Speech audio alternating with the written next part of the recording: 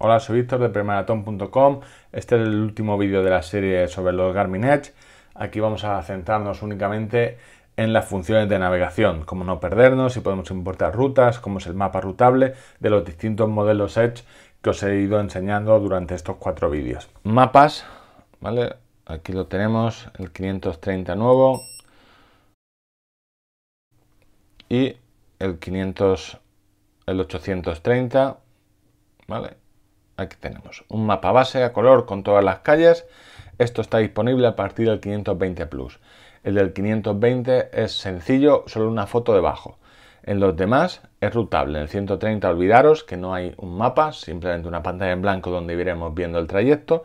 Y en todos, conforme avanzamos, vamos viendo una línea por donde estamos. Ese es el track que estamos generando. Y en todos podemos cargar un track para intentar seguirlo donde nos irá avisando si tenemos, eh, nos hemos ido fuera del track o si viene un giro eh, importante.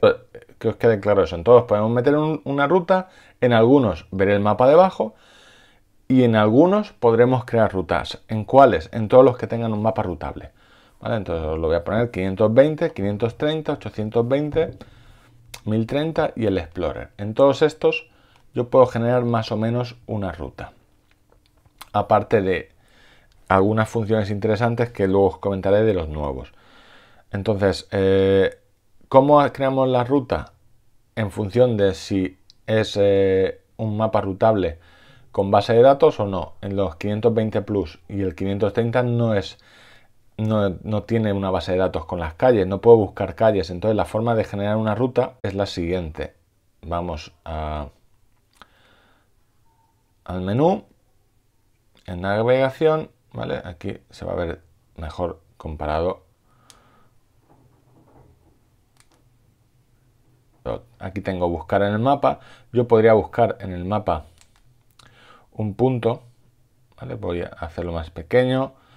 Me desplazaría y elegiría un punto del mapa. Aquí lo puedo hacer, pero mucho más sencillo con el dedo. Yo pondría un punto en el mapa, ya puedo navegar hacia él. Avenida del Carden.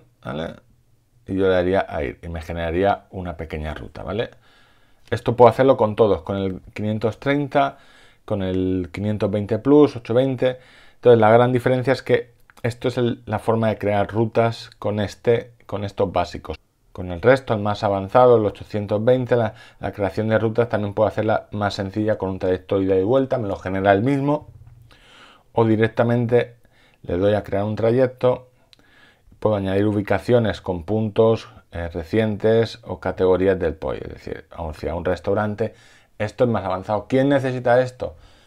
Yo creo que poca gente necesita crearse una ruta cuando sale con la bici hacia una ciudad. O la creas en el ordenador y luego la importas, pero bueno, que sepáis que se puede y en el 520 Plus y el 530 también marcando la mano.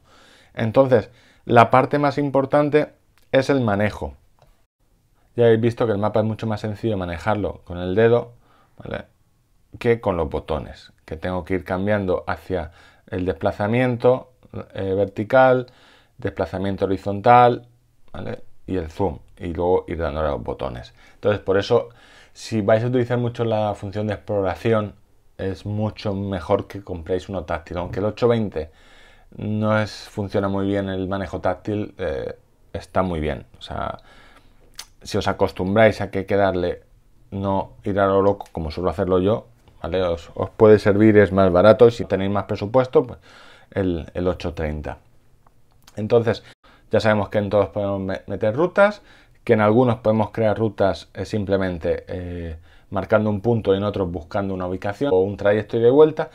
Pero lo que os quería decir es que todos tienen el back to start, es decir, a todos podemos volver al inicio y hay dos formas. En los básicos 520 y 130 puedo hacerlo por la misma ruta que he hecho o por una línea recta. El camino más rápido en este caso es una línea recta. En el resto que tengo mapas rutables, cuando inicio una actividad yo le daría navegación y me permitiría volver al inicio. Ahora no, porque no tiene el GPS conectado, entonces me permitiría ir por la misma ruta o el trayecto más eh, directo. Esto me lo calcula él en el mapa rutable y si me alejo por algún momento, ¿vale? En todos los que tienen mapa rutable, desde el 520 Plus, me lo va recalculando. Eso es muy interesante. Yo sé que alguna, he hecho alguna ruta donde sabía más o menos llegar, pero la ruta era muy dura y digo, va, quiero volver con un trayecto más sencillo. Lo calculo y ahí se ve una diferencia entre los nuevos. El procesado es mucho más rápido en el 830 y el 530 que en los antiguos 520 Plus y, 8, y 820. Incluso más que el 1030. Entonces eso sí que es muy útil, el volver por la ruta más rápida yo puedo decirle si quiero que sean carreteras asfaltadas o no, eso lo meto en la configuración. Otra de las cosillas interesantes en cuanto a navegación y que tienen todos, incluso el 130, ¿vale? Eh, aquí lo vamos a ver, es la pantalla con el perfil de altitud. Conforme voy avanzando me va generando el gráfico. Y aquí entra una de las novedades que es el Clean Pro en los nuevos 530 y 830, cuando yo meto una ruta y tiene unos niveles importantes, sobre todo de niveles de más del 3% durante un kilómetro, me aparece esto. Os lo voy a cargar una ruta que tengo de ejemplo, un trayecto, trayectos guardados, y aquí tenemos uno. ¿vale? Y me aparecerá en el resumen los ascensos. Aquí tengo los diferentes ascensos y entonces el Clean Pro, eh, cada vez que lleguemos a esta, a esta pendiente o a esta zona del trayecto, me aparecerá esta pantalla y me señalizará dónde estoy y lo que me queda. ¿vale? Entonces veis que tengo diferentes, me marca dónde está la parte fácil, la parte dura. Aquí tenemos un, falso llano, entonces esto va, depende de la ruta que nosotros hayamos cargado. Cuanto es realce esa ruta, estas, eh, estos zooms a las pequeñas pendientes será mejor. Entonces ya hemos visto todo, es un vídeo muy largo, pero bueno, yo creo que ya tenéis más o menos claras las diferencias, eh, tanto en especificaciones, conectividad con sensores, ¿vale? las métricas, el entrenamiento y la navegación. Entonces la conclusión, ¿cuál?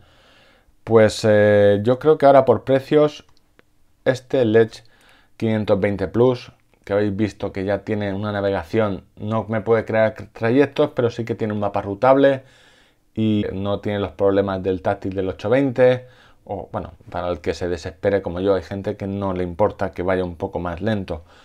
Está muy bien de precio, 200 y algo. Esta sería una de las opciones más recomendadas. Yo ahora mismo el 1030, por ejemplo, no lo recomendaría, prefiero el, el 830. No tiene una pantalla tan grande pero bueno, tiene todas las funciones de navegación idénticas, todas las métricas, todas las funciones de entrenamiento, la navegación es idéntica, vale 3,99. Este tiene una pantalla que ahora sí puede navegar a 1820, no me termina de gustar, pero la pantalla la veía muy pequeña y tiene cosas como el Clean Pro, 20 horas de autonomía y también podemos conectar la batería externa. O incluso el 530 cuando baje de precio, aunque lo que os decía, los botones no funcionan mal, pero no me gusta, no me termina de gustar el tacto. Yo creo que deberían ser, eh, no tienen, ¿vale? Para que veáis, ni son de goma, ni, eh, ni tienen un relieve, entonces no, no me terminan de gustar. Pero no es, un, no es un mal GPS teniendo en cuenta que son casi idénticos. Pero si buscáis navegación, yo creo que iría o lo utilizáis mucho táctil. Si la navegación simplemente lo queréis eh, como base, entonces el 530. Espero que os haya gustado la serie completa y como siempre tenéis los comentarios abajo para cualquier duda y sugerencia. Nos vemos en el siguiente.